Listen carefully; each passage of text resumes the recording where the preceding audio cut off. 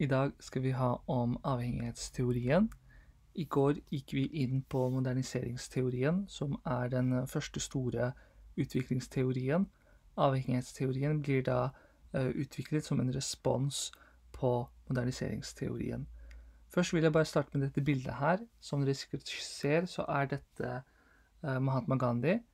Uh, og her sitter han og spinner sine egne klær, som dere ser foran. Den runde greier med sånne ting som stikker ut. Det er da en sånn maskin som man kan da ta bomull og lage tekstil av det. Det er også det som er på, er på flagget, på det indiske flagget.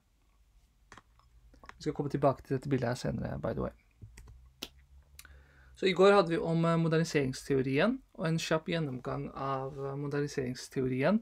Det er en teori som eh, fokuserer på, at, på interne faktorer når de skal forklare hvorfor enkelte land er rike og andre fattige.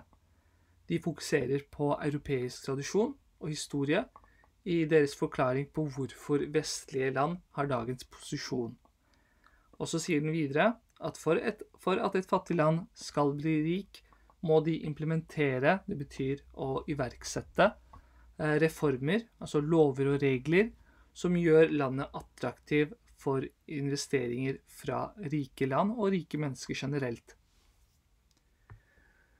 Som respons på denne teorien her, så utvikles avhengighetsteorien sent på 1960-tallet.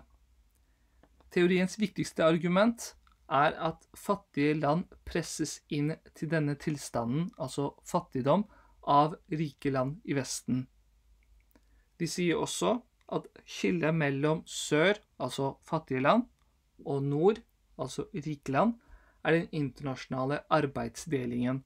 Dette er begrep vi har gått gjennom tidligere. Det er snakk om hvordan enkelte land velger å spesialisere seg i forskjellige ting, og hvordan man da får en deling av uh, jobb og uh, hva som dyrkes, og hvilken arbeidsoppgave som gjøres, på en internasjonal nivå.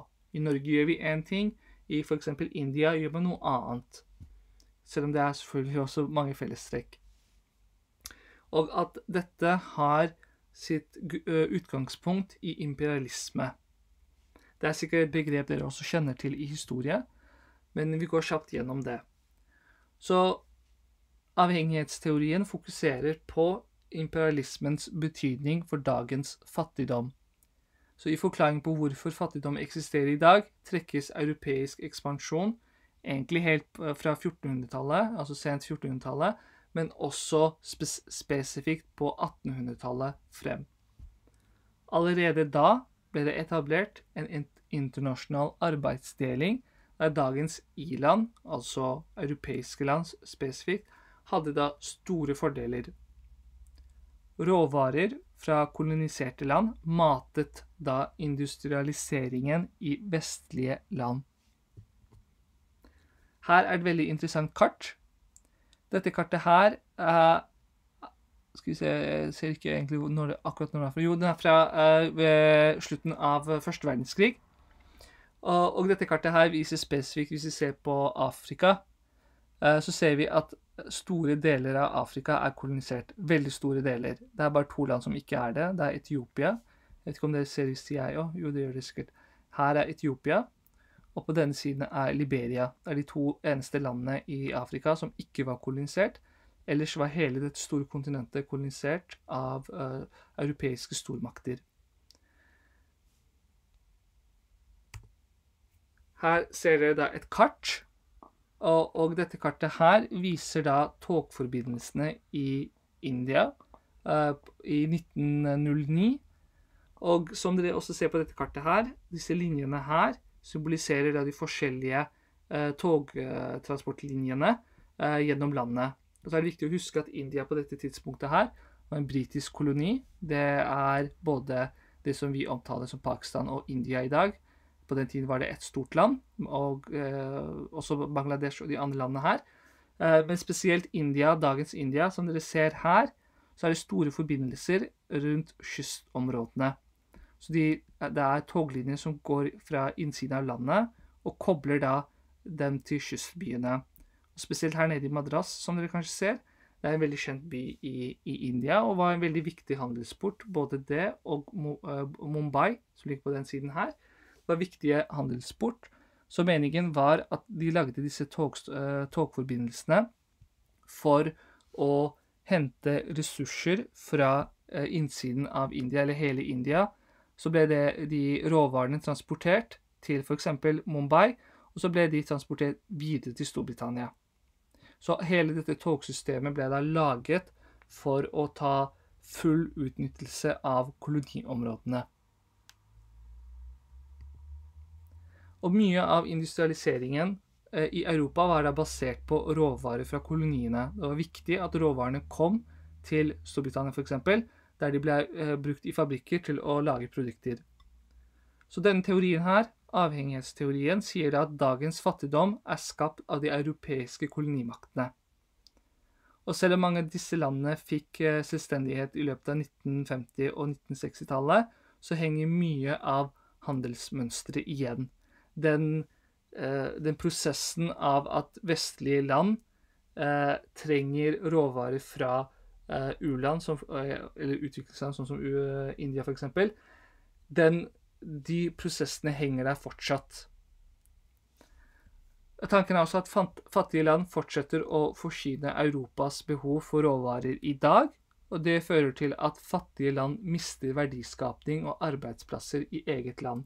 Vi gikk gjennom eh, begrepene primær, eh, primær, sekundær og tertiærnæring eh, for ikke så lenge siden. Da husker dere også sikkert at vi snakket om at lønningene er ikke så utrolig høye i primærnæringen. Det gjelder spesielt i India. Der også en stor andel av befolkningen er sysselsatt i primærnæringene. Og det gjelder spesielt under da det var britisk koloni. I dag er India et Enkelte områder er ganske moderne, og det er et land som har høy økonomisk vekst.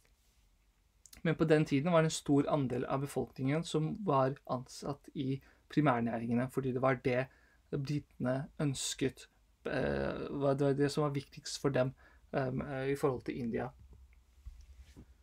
Så i denne teorien er de historiske og samtidsgrunnene ganske like. Husker vi gikk innom på moderniseringsteori, så var det to forskjellige eh, var det skille mellom historiske og dagens.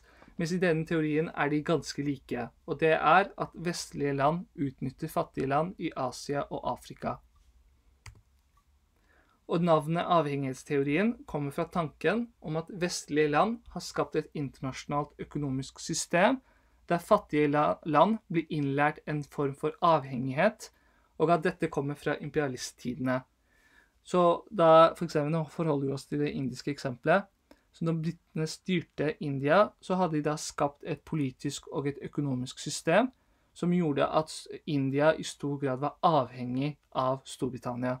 Tanken var at dette skulle gjøre at inderne ikke ville ønske frihet, eh, og at det skulle Samtidig var det også et ønske om at India skulle på en måte bli der de var, og det var å være på en måte et, et kammer for ressurser for britene. Outsourcing er et begrep vi har gått gjennom tidligere.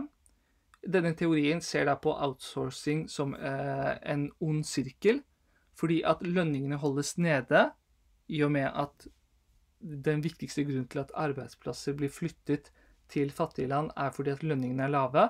Så lønningene holdes nede, som fører til fattigdom. Og fordi arbeiderne er fattige, er de også presset til å ta de jobbene som er tilgjengelige for dem. Så det blir en ond sirkel.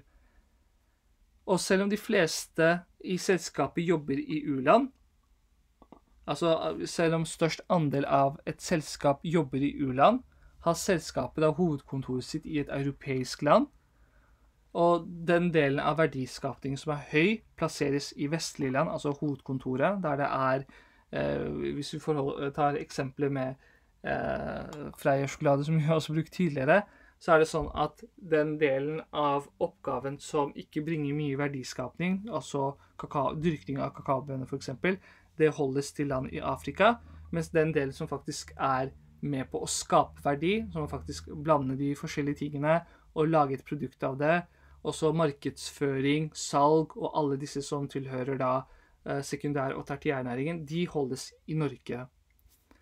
Eh, så det er den, en viktig tanke i forhold til outsourcing. Så grunnleggende argument er at vestlige land er rike på bekostning av u-land. Og der det internasjonale kapitalistiske system er bygget på en slik måte at bare vestlige land skal tjene på det. Og det er ingen måte for fattige land å komme seg ut av dette, altså fattigdommen, enn at man må faktisk isolere seg ved å bare handle med andre fattige land.